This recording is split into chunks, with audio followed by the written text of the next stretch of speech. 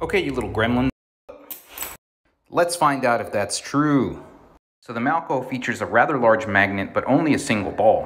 Plus, you can only fit one double-sided socket on their shaft. They're legit.